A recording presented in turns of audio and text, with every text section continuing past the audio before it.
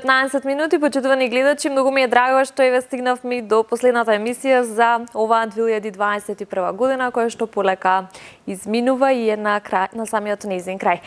За ова последно интервју за 2021 обрав еден а, исклучително интересен лик кај нас, кој што е со пандемијата, која што трае веќе втора година поред. А, на многумина ни е познат. А, попознат во јавноста како космонаутко, меѓутоа Денис Јанкуловски, медицинскиот техничар, кој што преку својата работа а, стана доста популарен кај нас а, и кај пошироката јавност. А, Денис, ти благодарам што ја прифати мојата покана да гостуваш во своја страна. Со задоволство. Како си?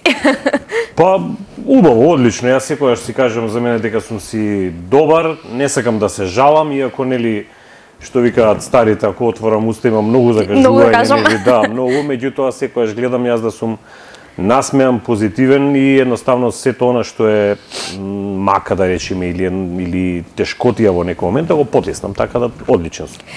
Така, Денис Денко космонаутко хм. како како највеќе те препознаваат? Па во овие две години како космонаутко дефинитивно што многу интересно често го кажам тоа како пример веќе почнаа да ми се обраќаат и со господине космонаутко некогаш.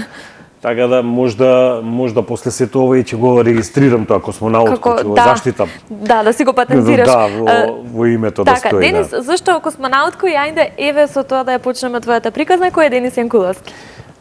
Космонаутко е поврзано со работата која што ја работам, нели поготово особено овие две години кога е пандемијава со скафандерот со земањето брисеви.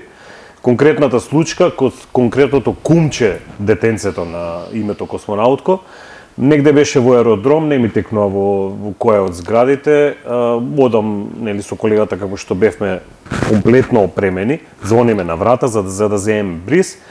Таткото како ја отвара вратата, од другата страна детенцето седнато во скутка и мајката вика мамо еве го дојде космонаутот да ни земе бриз. Леле. Да, и тоа беше а, моментот во кој што понатаму космонаутко си се регистрираше и провејува цело време.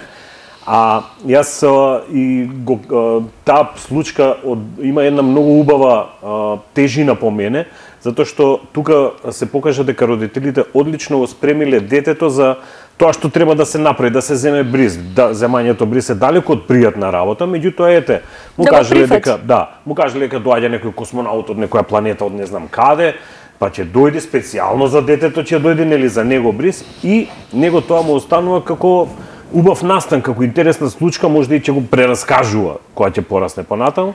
Така да тоа е така така настана космонаутка. Така космонаутка ќе одбележи целата оваа да, пандемија за COVID-19. Да. Денис Сили од свој работен век го поминувате а, како медицински техничар кој што им помага на болните, односно тоа е една ваша мисија која што и не е така толку лесна. Колку да. таа мисија за вас е предизвик?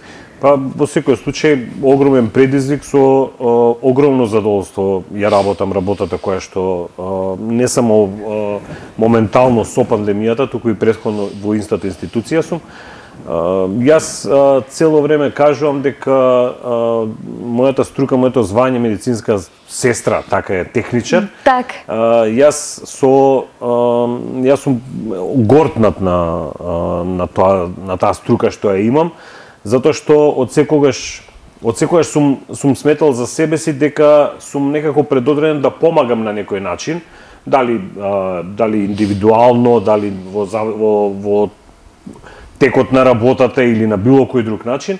Меѓутоа, особено овој период кога успевам, односно кога помагам на многу лица, во пронаоѓање на брисот, во навремено наоѓање на вирусот, во навремено наоѓање на вирусот, што а, за многумина значи и па мислам дека значи и некогаш и спасување на животот, тогаш а, можам да кажам дека веројатно сум ја одбрал вистинската професија за себе и го работам со огромно задоволство. Тоа така да предизвикот е што би рекле нели прифатен и а, верувам дека од, а, целосно одговарам на задачата. Реднобудник сте и обожавате на социјалните мрежи да го најавите новиот ден со песна. Која да. е тајната на таквата позитивност и да се прослави нели раѓањето на секој нов ден? Ранобудењето буквално почна уште од првиот ден кога го ставив скафандерот бидејќи беше нешто ново, нешто што го го немавме искусено до сега, наеднаш влеговме во нешто прво и физички беше а, оптеретено, меѓутоа и умствено, нели цело време пазиш дали дали правилно а, да го направиш како што треба да не сгрешиш нешто бидејќи самата грешка ќе се а, ќе ти се префрли и себе, меѓутоа и на семејството, нели кој што го имаш позади себе. И уште од првиот ден јас буквално мислам дека буквално уште во 8-9 часот на вечер си легнав и негде околу 4 саат на утро 4-4 пол станувам. Значи тоа е веќе две години така, буквално секој ден нема промена. Uh, станувам со песна. Јас uh, не само што станувам со песна, него и мене денот секогаш цел ден ми поминува во песна. Јас ја сакам музиката, сакам да си пеам. И uh, на еден начин тоа беше во периодот на карантините кога почна карантинот нели многу луѓе ново нешто што да правиме, како да правиме, леле 4-5 дена дома, не така. смееш да излезеш. И тогаш јас предложив бака буквално на на социјални мрежи викам да си пееме. Ајде да правиме нешто што не што не би се осмелиле да го направиме. Да. Значи јас од никој пат не би се осмелил да седнам сега и да ме гледаат едно луѓе едно чудо луѓе како пеам. Меѓутоа, ете, дојде дојде периодот, дојде времето и тоа да да се направи. Јас си го најдов својот вентил во, во текот на денот преку песната. Како минуваше времето, пеењето, нели, од ден на страна тоа повеќе се смееме со другари беше упропастување на песните, меѓутоа симпатично некој упропастување на так. песните и луѓето увидоа дека го правам тоа едноставно и за себе, меѓутоа има влијание и кај другите. Значи им помага тие некои 5-10 минути во текот на денот да си посакаш убав ден, со песна, со насмевка. Да, тоа ќе ве прашав, дали да. ви возвраќа, дали ви пишуваат, ве контактираат Да, да, да, апсолутно. На почетокот, на почетокот имаше некој кој што нели најдобро намерно другари кој што ќе ми каже, абе врска немаш од пење. Да, Точно, јас апсолутно врска немам од пење. Јас имам само огромна желба за пење. Јас знам дека не знам да, да, да, да, апсолутно. Значи мене ми е огромна желбата, јас сакам од со срце и со душа си пеам, си го префатија на тој начин и како минуваше времето, како минува и ден денес, често добивам пораки, еве, не мора само во коментарите, нели, на, под тие постови, под тие утрински пења, него и на месенџер или вака која ќе ме сретнат, едноставно гледам дека, а, па да речам, помага на луѓето, им. Помага затоа што ете, секакви мисли имаме, нели, се, секојдневно мислиме на коронава, не дај Боже, но ние страшни да, и неубави работи, сме преокупирани сме со се и се што. А, и ете песната можда можда ќе им тргне гледајќи ја песната, пиејќи го утринското кафе со песна, можда ќе им тргне во друг поубав правец денот. Така. Верувам дека и помага на многу луѓе, така да Тоа е тоа со со пеењето, сутринското пеење. Така, од почетокот на пандемијата, па еве досега веќе втора година ја живееме пандемијата на COVID-19, што се случуваше, што се промени досега, одиме ли во подобра линија? Uh, во однос на подобрата линија се надевам во uh, правец на завршување на коронава. Значи тоа е се надевам дека многу побрзо ќе заврши отколку што очекувавме, нели се надевавме прво беше за 2-3 недели, па 2-3 месеци некако многу многу проложи, меѓутоа ајде да да веруваме дека како што кажуваат стручниве лица, дека овој новиот 15-16 вид веќе и сој не знам кој дека е почеток на крајот на пандемијата, дај Боже да, да е се така, надеваме. Да се надеваме, да. Во однос на тоа што се случуваше позитивно, негативно, што знам како да кажам, за жал, веројатно многу повеќе има негативни моменти а, не зборувам од индивидуално, од лично искуство, јас имам многу позитивни моменти како индивидуалец, меѓутоа како севкупно, Генерално... како да, како општество, за жал се покажат дека многу малку а, сме напреднале во а, како во во свеста, во совесноста, во а, разбирањето на тежината на некоја ситуација, на опасноста, цело време она што што се провејува и она што јас го кажувам, јас не сум различен апсолутно ништо од многу луѓе, од од сите луѓе, да речам, на, не само во држава и на планетава, така да јас не знам многу работи ниту за вирусот, ниту за вакциниве како што се, Меѓутоа, од една страна би требало и треба да веруваме на науката, нели затоа што а, би требало науката да работи за добробит на човештвото, иако во светски рамки јасно е веќе како се се одвива, меѓутоа вирусот е и она што цело време го кажуваме дека вирусот каков иде, јас никој пат не навлегувам дали е природен, вештачки, дали е кинески, амерички, руски, е не е битно. Да, присутен е, тука е, меѓу нас е и коси, едноставно коси. И треба само да внимаваме, внимаваме да се однесуваме а, онака како што би, би се однесувале при секоја зараза која која ќе се појави. Значи доколку има некој заразен, се чуваме, се пазиме, така и, и како деца и како возрастни и тоа е тоа и сега што треба да го направиме. За жал не викам јас а, само кај нас, тоа очигледно на глобален план, некако на глобално поле малку отидоа работите во друг правец, само тоа е измешано веќе тука политика и не знам што се е измешано меѓутоа таа е реалност. Би сакал, би сакал и покрај големиот број негативности, сепак да научиме нешто од од оваа пандемија затоа што колку и да не сакаме, мислам дека животот се движи во таков правец да од време на време веројатно пак ќе се случуваат вакви работи, не дај Боже. Така, најбитно е да излеземе победници. Тоа е тоа, да, да да излеземе победници, да иако има голем број починати, за жал, значи секојдневно слушаме веќе тие тие бројки утепуваат од една страна, меѓутоа да се трудиме да да да сме не знам како да кажеме цело време тоа го кажувам едноставно да да сме, тоа е потребно да сме, а за да сме мора да сме одговорни, совесни и да се грижиме како за себе, така и за останатите, затоа што со оваа пандемија се покажа дека индивидуалното е колективно. Така. Значи не не работам ја само за мене, работам за сите околу мене. Така да така. се надеваме дека сепак ќе оди на по, по, позитивна нагорна линијата. Така, се надеваме.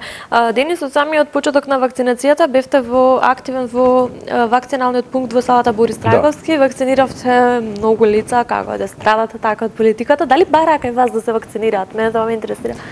А, имаше многу, стварно, значи во тој период, не знам, 4-5 месеци колку траеше, имаше најразлични ситуации. Значи имаше каде што доаѓа едноставно и, и посакува да да се вакцинираат. Јас така беше А имате периодът... лесна рака или што е тајната? Па може и лесна рака, може тоа, меѓутоа мислам дека не само лесната рака, него едноставно и тоа што јас Пристапот? Пристапот е пријатноста на смевката, муаве да, да си направиш да го ослободиш некого некој што дошол со страв, наместо да му рече мајде дај сега одма дај да завршиме работа, ако треба и ќе почекам 15-20 минути не е страшно. Битно е да се заврши работата што треба да се заврши. А, имаше многу помина продефлира и познати и непознати лица во однос на, на барањата е чисто јас секогаш го кажувам како интересен пример стоев јас нели пред мојата кабина, како стојам пред кабината и најнаш од другата страна на салата две постари, па и баби да речам, постари жени, а, со трчање доаѓаат и ми мафтаат од таму. И се јас нели не догледувам толку до другиот дел, мислев дека се ги знам некои што што доаѓаат кај мене. Не, рече, ние сакаме кај тебе доаѓаме само ти да не вакцинираш. Само ти или нема никој проблем, друг. да, нема проблем. Беше беше интересно, беше многу пријатно, сето тоа е убаво, нели годи од една страна кога заради нешто си помогнал некому, си го ослободил да дојде да се реши да се вакцинира и многу битно ми беше затоа што сепак работиме тука бевме едно 30 на колеги И ниф им беше интересно, значи немаше замерки ни, нито од колегите, сите беа така едноставно убаво пријатно чувство се правеше. Вакциниран ли е космонаут кој и Да, да, да, јас сум со трета доза, да. Не. не.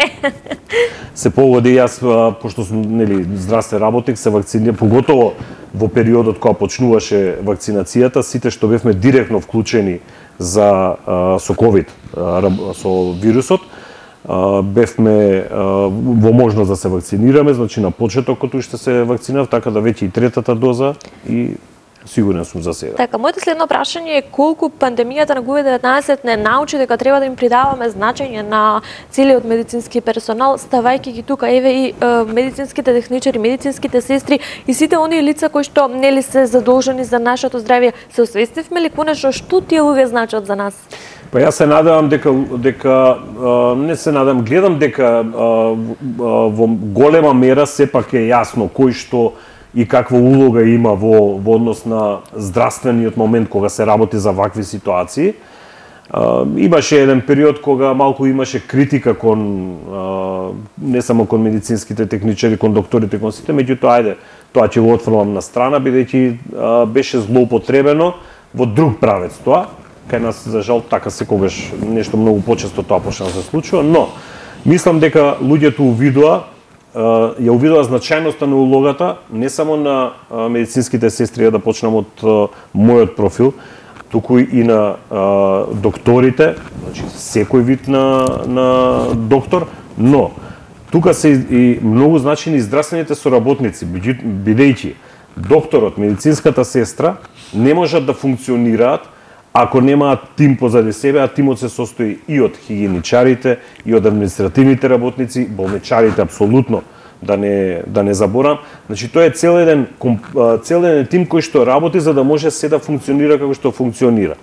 Така да мислам дека луѓето увидува Секој еден е битен. Да, секој еден битен, секој и секој вложува максимум. Верувате, јас јас тргам по себе не само за за себе да кажувам или за колегите ние што сме. Меѓутоа рачунете како им е на сите оние колеги во болниците, каде што за жал секојдневно се среќава со со со смртта, директно се се сочува со смртта. И се кај да толку сати, едноставно тие треба и сето тоа да го како да кажам да го издржат или да да не може да го заборат, меѓутоа да го потиснат за наредниот ден пак нормално да така, функционира. Така, тука доаѓа и моментот психичкиот момент. Тоа е тој момент и затоа затоа е многу битно од страна на останатите, значи нездравствени работници, односно на луѓето да, да ни помагаат, а, а да, да не ни одмагаат. Значи не да не напаѓаат, не да се измислуваат работи, едноставно да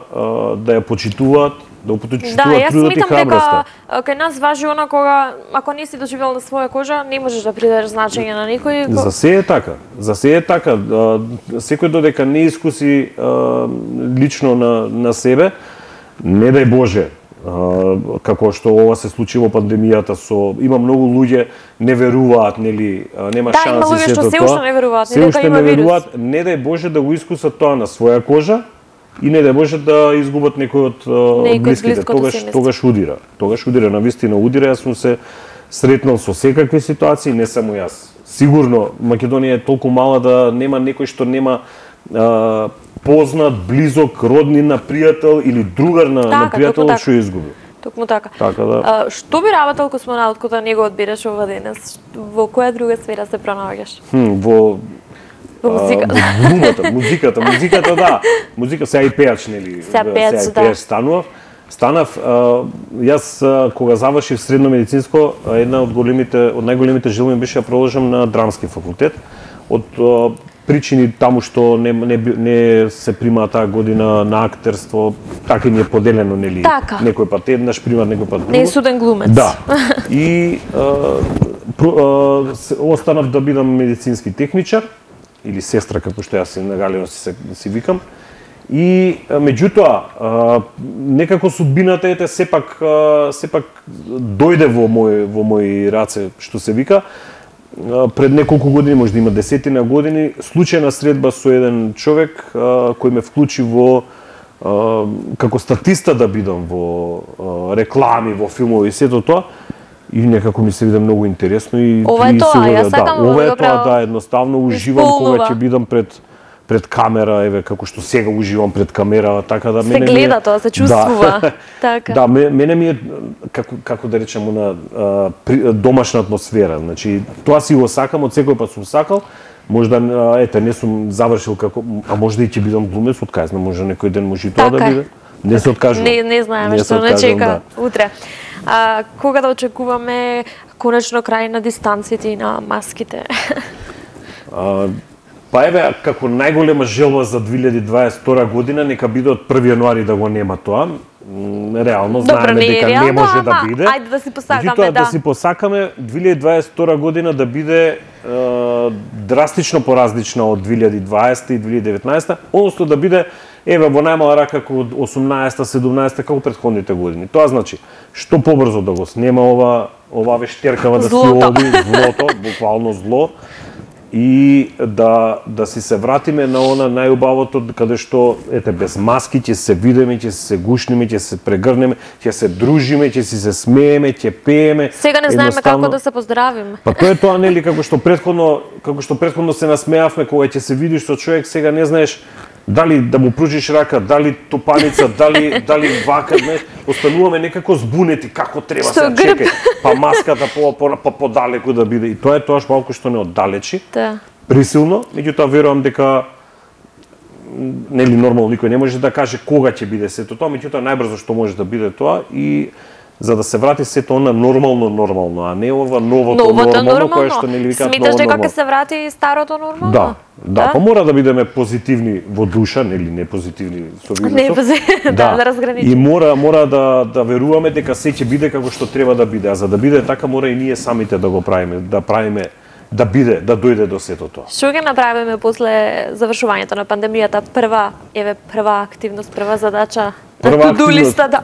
Прва има многу многу активности кои што а, си ги си ги зацртав и некако сакам да ги направам, меѓутоа прво што ќе направам тоа е со семејството, ќе излеземе ќе седнеме во кафана на убав ручек. Тоа недостасува, мене ми недостасува и а, после мислам дека ќе земам еден подолг одмор и, и сакам да ја прошетам цела Македонија. Не знам зашто едноставно увидов со пандемијава, со прошеткиве по терен увидов дека има многу убави места. Има. Само во Скопје јас увидов и, Има и ја дознав нови, да. Убава а тек низ цела Македонија. Така да мислам дека и и она што ми е убаво при прошетките сегде што мислам дека сегде имам некој запознав што ќе можам со, на кафе да седнам да седам да испијам кафе. Да. Да. и при самиот крај во еден наврат ќе кажеш дека си ги запишуваш оние поинтересни работи кои што ти се случуваат во текот на пандемијата, да очекуваме или можеби некој книжулет, дневникот на космонаутко. Па јас тоа на почеток прво на шала на смеа дневникот на космонауткот, дневникот и почнаа веќе ми ја ставија бубачката, знаеш, да да издаде издадеш нешто. Може да и ќе излезе нешто. Јас секоја во главном секоја убава случка, нели има и неубави, мора да има и неубава некоја случка, Така. ама сепак е случка. Се она што ми се случува во тек на пандемијава, јас си го запишувам, си го евидентирам, така да има едно убаво тефтерче кое што веројатно може да ќе го види светлото на денот што викаат некој ден. Ќе го Би види. сакал, зашто да не. Интересно ќе остане како документ еден, не само за мојата работа, не само за моите случаи, него едноставно Како бележник на едно бележник време. на едно време, на едно да. време. Да. Така. А, Денес ти благодарам за овој интервју, ти благодарам што одвои дел од твоето навистина скапоцено време, бидејќи цело време си растрчан што се вика наваму натаму со твојата а, хумана мисија, еве така ќе ја кажеме. Ти благодарам што еве на овој начин ја заокружуваме 2021. Ќе постакам да се видиме без маски, без пандемија Да. на COVID-19, да испиеме со мене едно убаво Така, кафе. апсолутно сигурно. И само за убави работи да, да се гледаме. Фала на поканата, баш ми, ми е пријатно, супер, супер се чувствував и тоа е најголемата желба, значи да се видиме, да, да се видиме како луѓе или, или често јас како што кажувам во неубавиот гушибац. Така, тоа ќе бидат и желбите, честитките Да. кои што ќе ги упатиме и кон нашите а, гледачи. Со тоа ќе го завршиме ова последно издание за 2021 година од своја страна. А, почитувани гледачи, тоа беше Денис Јанкуловски или попознат кај нас како космонаутко. Со ова интервју ќе ви посакам срекни новогодишни и божикни празници, убаво да поминете за новата. Ќе ви посакам многу здравие, секако да излеземе победници од ова зло како што го кажавме и а, секако само живи здрави да си ги да си ја дочекаме новата 2022 година. Ви благодарам што и оваа година не следевте и бевте со нас. Ви ветувам уште побави поинспиративни изданија во новата. На самиот крај да не заборавам да ги поздравам моите пријатели од бутик Мај Мода и мојата шминкерка Самра и Мери. Се гледаме наредната среда во наредната нова година.